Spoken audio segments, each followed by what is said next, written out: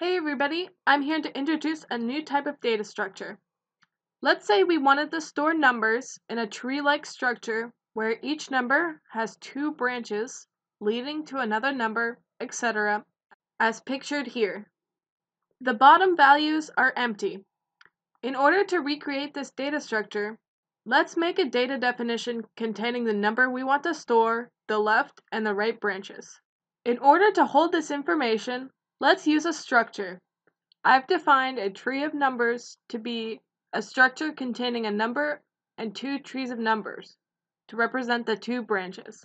But wait, if we try to define an example of a tree of numbers, it, we will never stop writing the example because each tree of number requires two more trees of numbers, which requires two more trees of numbers, and so on.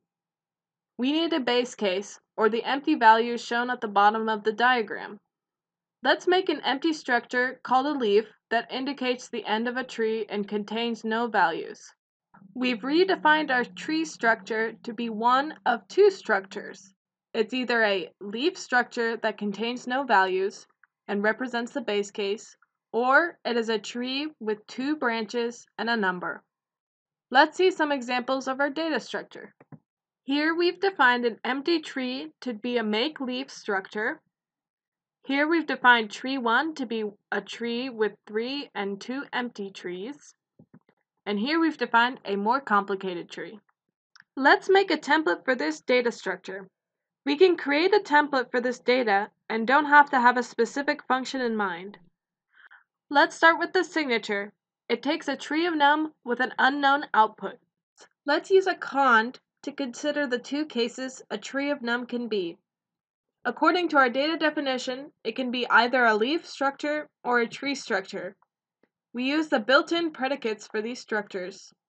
Notice how the structure of the template follows the structure of the data closely. Now, for structure templates, we use the accessor functions to access all the available data. The leaf structure has no accessor functions since it stores no data but the tree structure has three. We can access these three pieces of data when we know that the structure is a tree. Here we have accessed all three pieces of data in the tree structure. The tree num accessor returns a number, but the tree left and tree right accesses return a tree of num. Thus, we have to process them accordingly. This is our final template.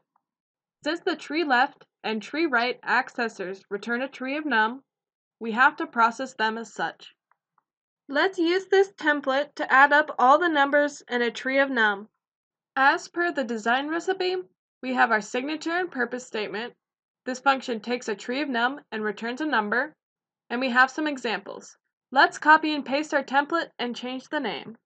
Make sure to change the name inside the template as well.